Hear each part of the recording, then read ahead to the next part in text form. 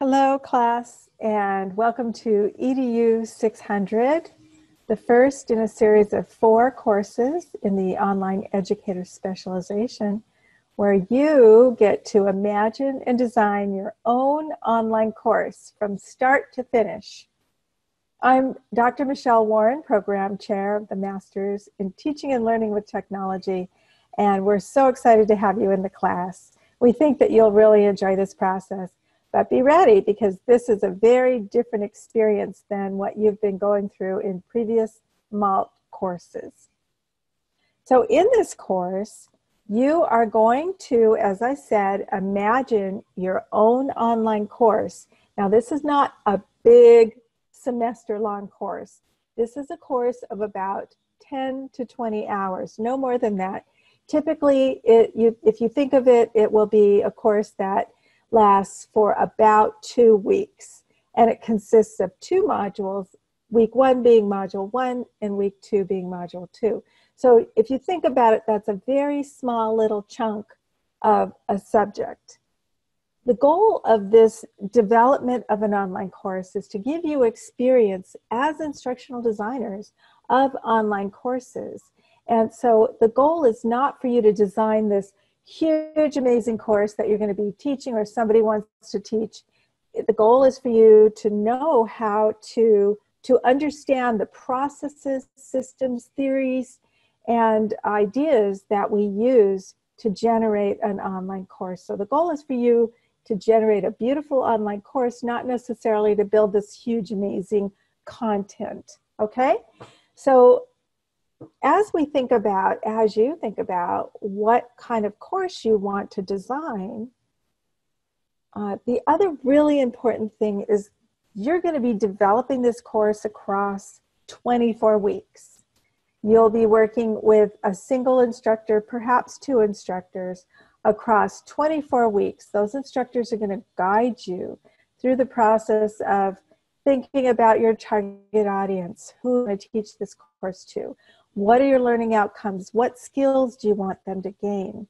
And then thinking about what do you want them to be able to demonstrate to you once they've completed this course that, that shows you that you know that they learned it, learned everything you taught them. Okay? So think so because this course is going to be something that you're going to be thinking, living, and breathing for 24 weeks. It's really important that it's something that you love and your instructor will work with you to help you come up with something that's passionate to you, something close to your heart, something you love, or perhaps something that, you know, if you love your job, maybe you want to design a training for your job. Uh, to support you in the work that you do, or to show your supervisors that you are capable of designing online training. That's fine. But also, people come up with things like you know, how to make candles or how to develop, how to bake artisan bread or how to create chocolate pops or how to um, how to explore uh, fantasy worlds of writing and literary writing. And, and what do the fantasy worlds what how do you write a fantasy world story? Or um, how to address implicit bias or how to help girls or teens imagine their beautiful, powerful life, uh, or how to address traumatic brain injury for um, military people. So, you know what? What, ask yourself, what do I love? What am I passionate about? People also develop uh, things for their churches and congregations, or for their religions, or for their communities. I had somebody develop a course on homelessness. So, again, what do you love? What are you passionate about? And your instructor from there will help you kind of tease out how that could possibly become an online class. So get excited because this is going to be super fun and really, really wonderful. And by the end of it, you're going to have your very own online course that represents something that you're passionate about. Okay? So that said, this course is very different not only in what you do in terms of projects and work, but in format. So if we look at week two, I'm going to make that a little bigger for you. If we look at week two, notice that we have learning outcomes draft, learning outcomes reflection, and learning outcomes final. In this course, there will be places where the assignment gets broken up into three pieces. The draft, where you kind of brainstorm and think about your, your this particular assignment and how are you going to do develop it and do it. Send your instructor the draft midweek and then also you do a reflection. That's a video reflection.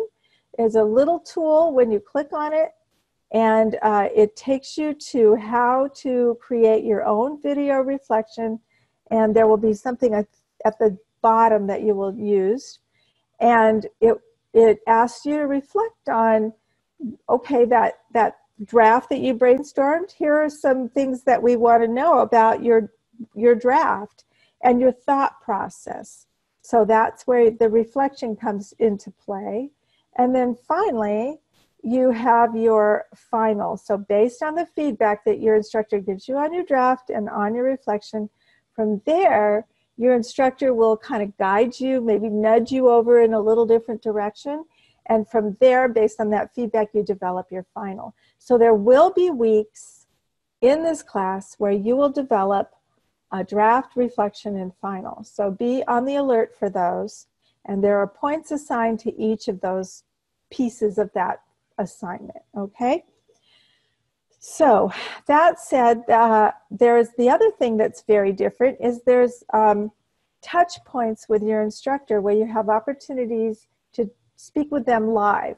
And that is, uh, for example, you have a welcome call in week one. So in the welcome call, you're going to meet your instructor. You're going to talk about your online course ideas. The instructor is going to help you tease out that idea and help you formulate it. The instructor is going to guide you into the next steps for week one and on into week two as you work on your learning outcomes. And then uh, you will uh, continue to work closely with your instructor. The throughout all 24 weeks of this class okay so your instructor is going to mentor you. They're going to serve as the um, you will be in a sense an apprentice as your instructor demonstrates models and shows you how to design an online course and steps back as you start to step in and develop your own online course. You start stepping in with those skills, instructor steps back as you move in, and by the end of the 24 weeks, you will be able to develop an online course on your own. Okay? So, um, that said, uh, I want to talk to you briefly about week one and the topic and audience identification. So, as you think about your online course, it's really important that you think about that topic, you narrow it down. What I find is I always have to have students narrow it down. So start small. It, you may think it sounds really small and like not enough, but you're probably wrong. It probably is enough. So start small, narrow it down. Who is going to want to take your course? Start thinking about who wants to take that course that is your idea that you have for an idea for an online course, okay? Um, Okay. As you work on that, then you're going to um, develop your target, tar topic and target audience, and there's some prompts there to help you with that. so once you identify that topic and audience, then you're going to uh, wait to hear from your instructor about any feedback around that and help you refine your idea for your online course. That gets you through week one, and we'll stop right there and we'll have video announcements and every week. Be sure to watch those in the announcement section. Okay? All right. Best of luck to you all i'm looking forward to seeing your amazing online courses. Wishing you the best throughout the month